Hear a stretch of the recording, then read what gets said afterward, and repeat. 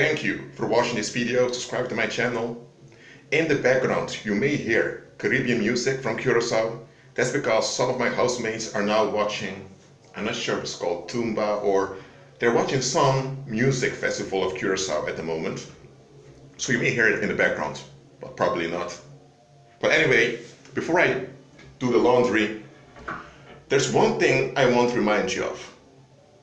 Oh, I can, I can uh, remove this hat, I'm inside now. I just returned from the supermarket, as you can see in some of the previous short clips I've uploaded.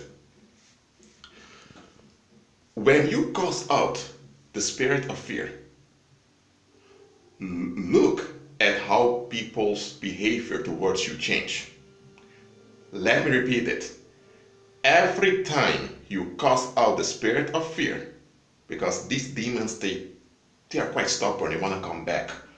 And sometimes they come back with more. But every time you cast out the spirit of fear from around you, the way people treat you will change. Let me explain. Everyone in this world is vulnerable. You were born as a little baby and you grew up and you were dependent upon your parents. And you learned to not displease other people because when people are upset, they do crazy stuff. And there are times people don't take actions against those that do crazy stuff. And even if they do, if crazy stuff happens and you've been you've been victimized, well, you don't want that to happen. Or maybe you saw it happen to others. For example, you had a kid that's talked back with its parents and received a smack, and now in your brain the shock is registered as never speak back to an adult. So that's how you, you've been socialized in certain things, or in the classroom. Uh, people have been humiliated because they didn't act like the other students. You, we all have been through such stuff. Some more than others, but this world is fear-based. Society is a fear construct. And most of the time, you're just dependent upon the goodwill of others and the coercion of others so that people get along with one another. So let's say you had this, uh, you had this, uh, let's say you're in high school, if you're watching this, and you had this um, teacher, maybe not a teacher, but the, the, the direct, not director, the head of the school who often looked at you in a weird way because he doesn't like you. Now let's say now you cast out the spirit of fear. And with it you also go further, you cast out the spirit of violence. Next day, you arrive at school, the guy sees you, I'm saying the guy, the head of school sees you and moves away.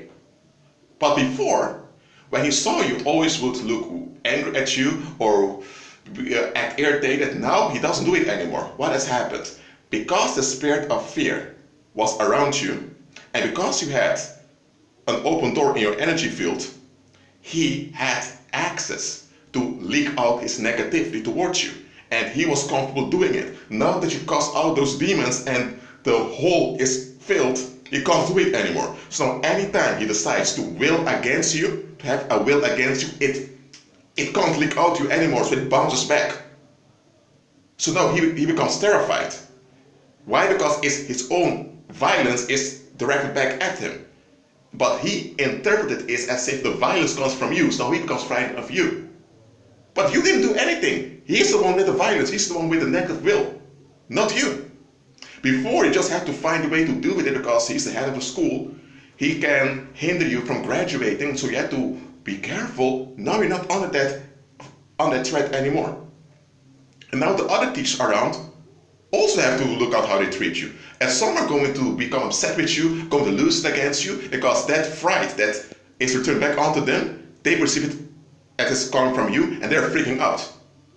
Some of the stu fellow students or fellow pupils may also try begin to treat you differently. What has happened? You have dealt with the paranormal root of the issue. Before, when you didn't know any better, just deal, dealt with people. When people didn't like you, you just find a way to deal with it or you just didn't spoke often. Now that the spirit of fear is out, now the spirit of violence is out, now you're open, now yourself, now you're opening your mouth, now you are being you. When people wanted to shut up beforehand, they could just look angry at you or scream at you or become irritated at you. Now they can't do that because every time they have a negative will, it bounces back, bang, onto them. And after a while, some people are going to completely avoid you. They're going to run away from you. And you know what? When that happens, praise the Lord. You shouldn't live under the threat of someone else's will. That shouldn't happen at all. And you shouldn't, especially, have to be under the spell of a collective will of a group of people that can't be defended. You shouldn't. Yes, people can expect you to behave when it's appropriate if they can defend that expectation. People can have expectations of you. They can. They can expect you to behave a certain way. They can require things from you. They can, as long as it can be defended, as long as they can account for it. But at the moment, people can't account for something, but just will it and you just find a way to do with it. That's wicked. And the, and they, when people have this will that they don't want to let go of, they, they look for someone to release it onto to release it, having this answer, they are at ease. It can be that, let me say, it can be that you were this guy that he used to have a, a rough, he had a rough childhood and should have the wrong friends. So now you have police officers that can't stand you, you have people in the neighborhood that can't stand you, you have people that, that fired you from the job that can't stand you. You have a lot of people that have a will against you. But now that you are delivered, you cast out all those demons and you operate in, and you send things back onto the enemy's camp, all those people, all of them, whether they are from the police of, of from the police station or from your former high school or among your relatives or strangers, it doesn't matter. They all are forced to revise their will towards you. And if they don't, they're the ones facing consequences. I've experienced this. You know what? Years back when I was 14, 15 years old, people dared to just look weird at me, say crazy stuff, uh, people close but far away. The more I kept walking my faith, the more, the more I began to decree and operate in the supernatural.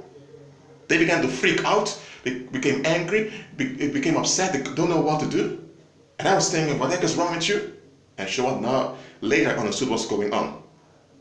They wanted me to have to deal with their will so that they can feel validated. Their will is so important. You need to look out for their will. And some people even try to act out in physical violence towards me because he will stuff. Well, not anymore. Those demons are cast out. They're not coming back, and everyone that dares to will something that they can't uh, account for, when their issue. I'm not going to pay evil for evil. I'm not going to wish harm on others. No, no, I'm not aiming at that. I overcome evil with good. It's still overcoming evil with good, but I don't I don't forget that they're the ones in evil. They're the ones holding on to the negative. Yes, you overcome evil with good. You walk in love towards others. You've forgiven all of that. However, they ought to repent of that negativity. And some will not repent. So listen, when you cast out the spirit of fear, you will also cast out, cast out the spirit of violence, the spirit of poverty, the spirit of loneliness, the spirit of uh, wait, there are all types of ways spirits operates. When you cast them out, and not only cast them out, you only also begin to decree abundance, biblical abundance upon yourself and around you. Watch how people respond to it. It's there. It's there. I want to say it's then that their true colors are revealed. And I make these videos in public also at home. Nobody dares lay a hand on me. It's because I know how things work spiritually. And I operate in the supernatural. I don't go to the paranormal where there's only relief and the relief is short-lived. And you have all kinds of um, limitations because if you're operating in the paranormal and people don't like you, they're, they're, the energy that flow through you is shielded up, but still have to deal with their with, with, the threat and all of that. But when you operate in supernatural, you step upon those scorpions and those serpents, and it's over. I'm not saying that people will stop and demons will stop. Demons may go to go from one one host towards another to harass you, and some of those people may uh, throw you away, never want to talk about you um, anymore because they've become frightened. So they won't will leave you alone. But there may be other people that don't want to let go and try to come after you. Just realize, in the paranormal, you only have short-term fixes, which often have fatal side effects. When you walk by faith and operate exponential, you trample upon scorpions and serpents. Let me tell you, when people decide they have a will against you and they don't want to give up that will, and they keep meddling negatively, you are in danger. Yes, you are in danger because there will be someone who is so vulnerable to negative energy and demons will work through them to harass you. If, you, if measures are, if actions are not taken on time on your behalf, you can even die. That's how there are people out there that had weird accidents and they died, or you had someone that was, that was attacked viciously by someone else. there's something serious over here. That, that's how you had people that encountered physical sicknesses that were the consequence of paranormal hauntings. Those paranormal came through by the negative meditation of other people. Yes, such things happen. Not here, not with R.E. it, not with Rashid. It, it ain't going to happen over here. I'm not going to wish harm on others. Again, I'm not going to be evil with evil. I'm, I'm walking in love towards others. That's what Christ expects of me. But uh, hold on. I'm not going to take the threat and the fright of the world. No, no, no, no. Neither should you. And what I've talked about now, I've experienced it. And you know what? Rejoice when those people become frightened of you and they run away from you, because that means that they have no access to harm you anymore. The moment they realize they can't harm you, or that option not open, because some people they have nothing against you, but when they are done with you or they can't stand you, they just will it and you have to take it. They don't want any responsibility towards you, nor do they want to give an account, they just will stuff. That's also a violent mindset. But the moment those people realize that they can't have that, that violent mindset, mindset you, they ought to be responsible, they frighten. And the moment they realize that they can't resist without things backfiring onto them, they'll disappear. That's how people disappeared from me. And I praise the Lord. I'm not going to live on that threat, on that fright. No. I will not. Some of you have debt collectors harassing you. Some of you have people who keep murmuring behind your back, or they're so confident into your face when you're around they talk bad about you as if you're not there. People did it with me also after a while when they realize uh, it's not going they can't release themselves freely anymore they'll either back down apologize in order to be at peace or they will just disappear and never come back. No, no matter how it happens keep walking by faith. You ought to be free. That being said agree with christ and be at peace